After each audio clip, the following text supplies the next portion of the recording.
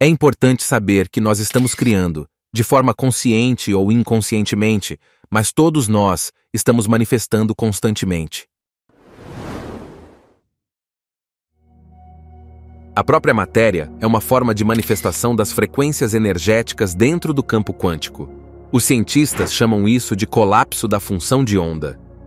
Em uma escala humana, nós usamos nossos cinco sentidos para interagir e sentir o ambiente ao nosso redor.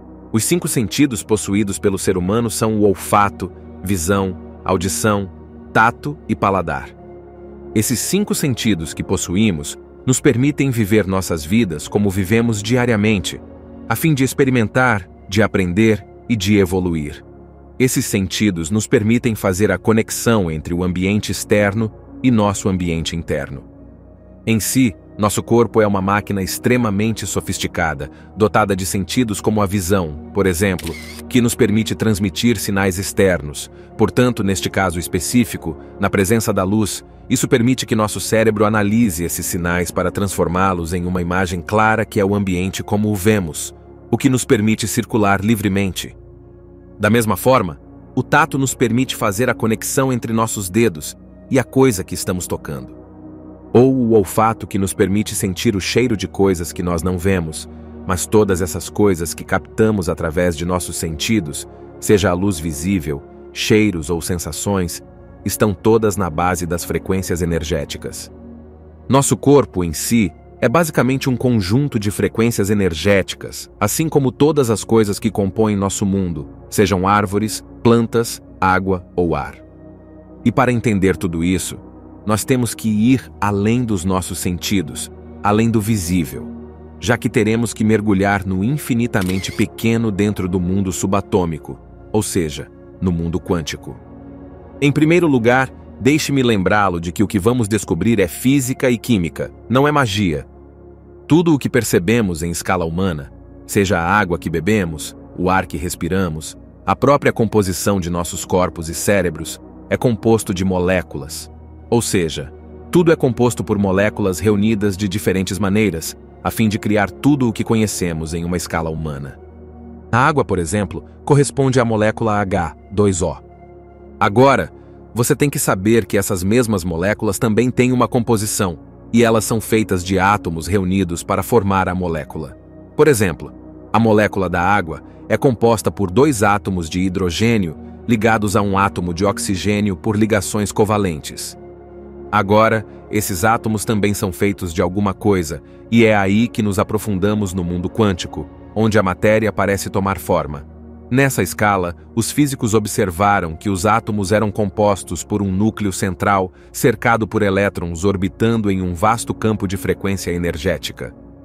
Este campo de energia em torno do núcleo central do átomo corresponde a aproximadamente 99,9% da superfície do átomo, ou seja, Quase todo o átomo é, na verdade, 99,9% de energia e informação, ou seja, frequências de energia. E esse campo de frequência de energia representa um campo de informação constante, ou seja, que sem esse campo de energia, o átomo não teria as informações necessárias para se formar. Então, ele não teria forma, seria o caos. Em si, essa energia é o que mantém a ordem.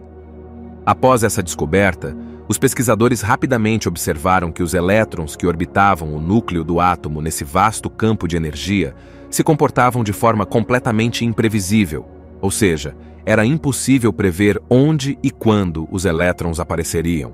Eles não pareciam estar sujeitos às mesmas leis da física que conhecemos em uma escala humana. Em nossa escala, por exemplo, nós estamos sujeitos à gravidade ou ao espaço-tempo, então, nós não podemos estar em dois lugares ao mesmo tempo. Bem, no mundo quântico não parece funcionar assim. Os pesquisadores descobriram rapidamente o que é conhecido como dualidade onda-partícula, que mostra que a partícula de matéria, que é o elétron, não se forma até receber a energia necessária para se manifestar, tal como a atenção de um observador. Essa descoberta foi feita pelos físicos Niels Bohr e Werner Heisenberg em 1991, apelidada de interpretação de Copenhague, evocando essa relação de incerteza no mundo subatômico. No mundo subatômico ou quântico, Tudo já parece existir simultaneamente na forma de probabilidades infinitas. É somente quando um observador volta sua atenção para algo material que ele quer encontrar, que o campo de energia invisível entra em colapso para dar lugar a uma partícula de matéria que chamamos de elétron. De fato, a matéria parece se formar quando a frequência é desacelerada, seja à medida que o comprimento de onda aumenta, tornando-a quase estática, forçando-a a adotar um estado, ou quando gera uma probabilidade.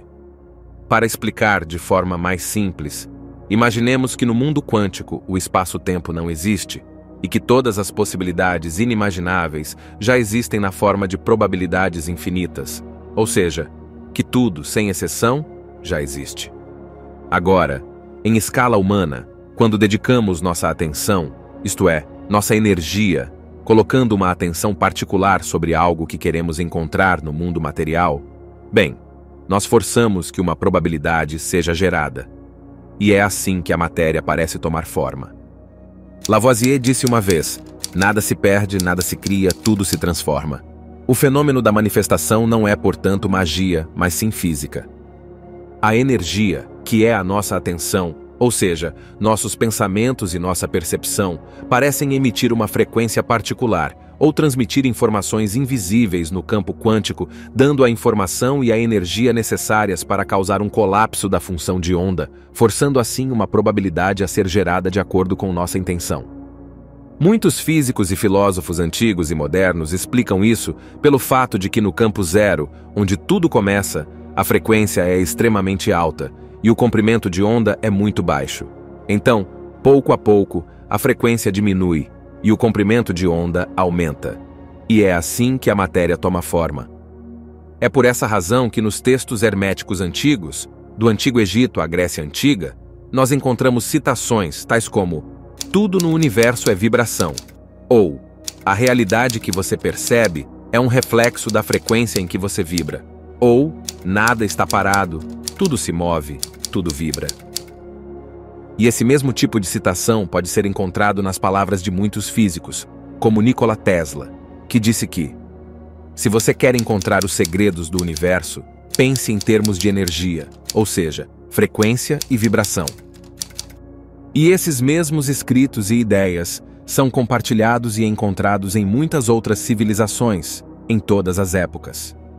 Assim, parece que estamos redescobrindo pouco a pouco o que já era entendido há muito tempo. Assim, a matéria simplesmente parece ser a forma mais lenta de frequência. Da mesma forma, a matéria também é uma forma de vibração, mas desacelerada, a ponto de parecer imóvel em escala humana.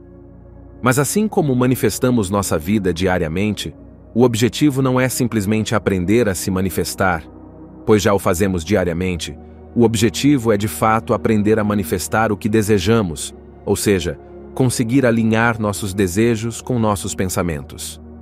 O problema que muitas pessoas enfrentam ao se manifestar é que elas não conseguem alinhar seus pensamentos com seus desejos, o que gera incoerência.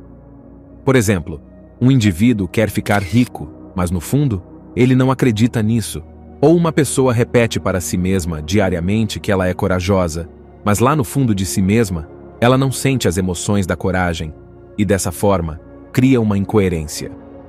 Assim, um dos segredos para se manifestar com sucesso é estabelecer uma coerência entre pensamentos e emoções, entre o cérebro e o coração, ou seja, associar uma intenção clara a uma emoção elevada.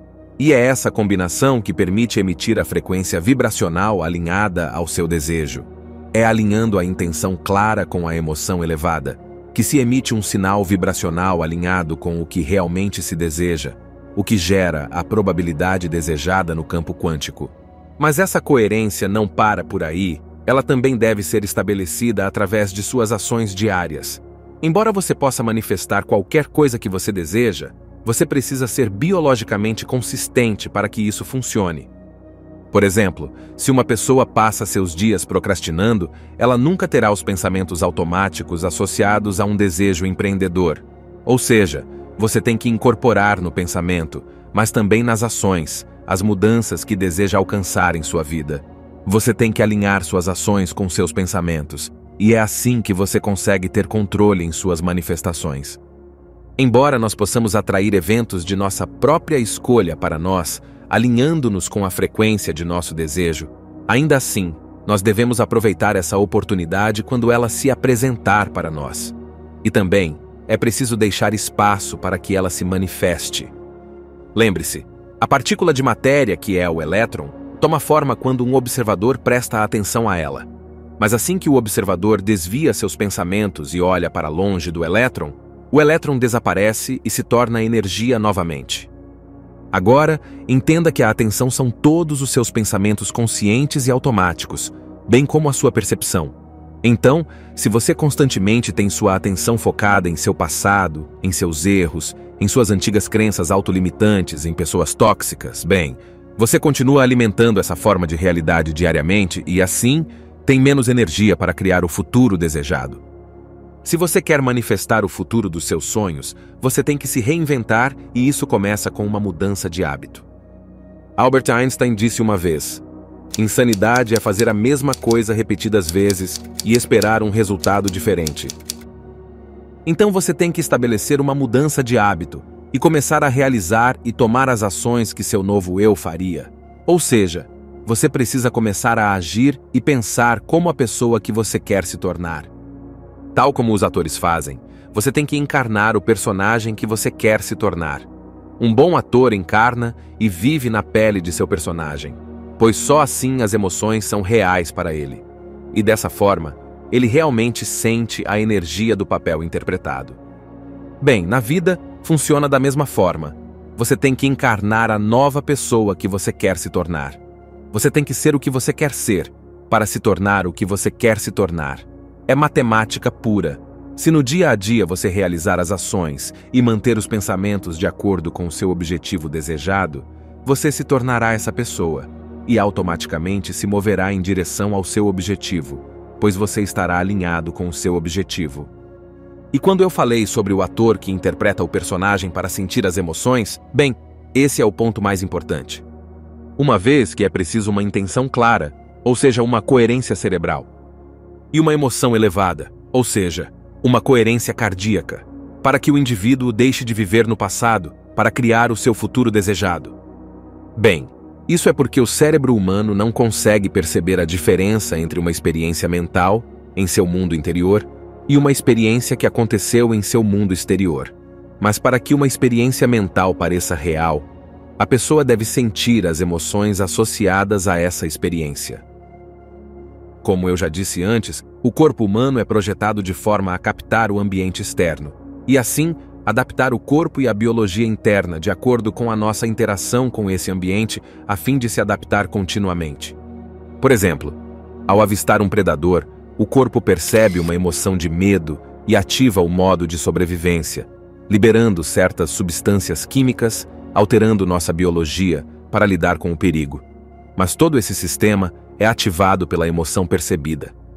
Mas, como todos sabemos, nós podemos sentir muitas emoções apenas pensando em uma memória familiar, ouvindo música, sonhando com nosso futuro ou visualizando nosso propósito.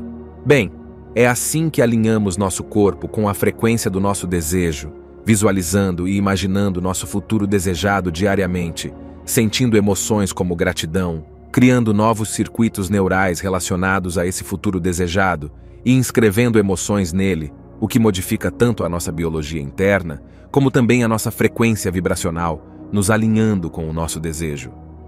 É assim que o nosso corpo se torna um imã, atraindo eventos alinhados à nossa frequência. E neste caso, este evento é o futuro dos seus sonhos.